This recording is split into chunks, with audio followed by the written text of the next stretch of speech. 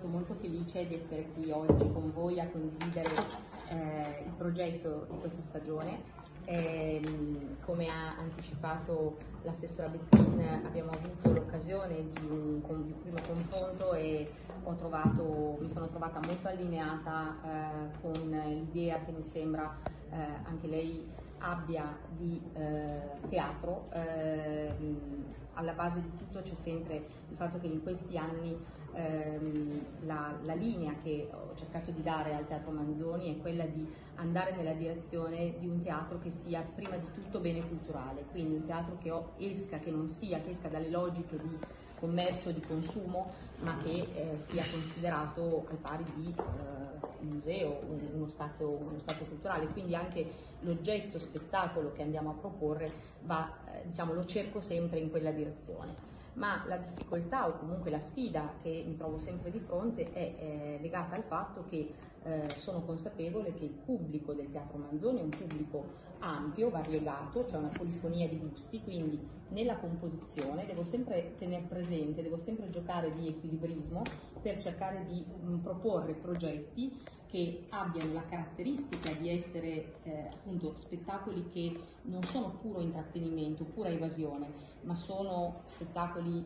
come diceva giustamente l'assessora, con un livello eh, di linguaggio, con un livello artistico, con un livello culturale alto, eh, che sono spettacoli che nascono, che prima di essere spettacoli sono dei progetti artistici culturali di un regista, di un artista, di una compagnia che sta sperimentando, che sta facendo un percorso.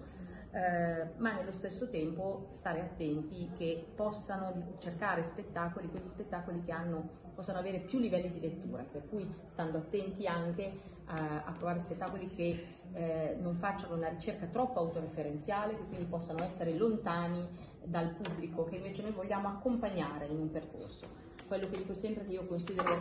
non considero tanto di avere a che fare con degli spettatori, con un pubblico, con un audience, ma con una comunità di persone eh, e il teatro deve avere oltre alla funzione culturale, che è la prima ovviamente, ma eh, è un luogo veramente di resilienza, di resistenza civile, eh, di, do, dove le persone in modo rituale si incontrano. Quindi bisogna che offriamo loro, eh, a quelli che lo desiderano, gli spazi e i progetti anche per chi magari vuole nel teatro trovare un, dei momenti per, o delle occasioni per ehm, trovare risposta alla propria inquietudine non solo culturale ma anche umana proprio.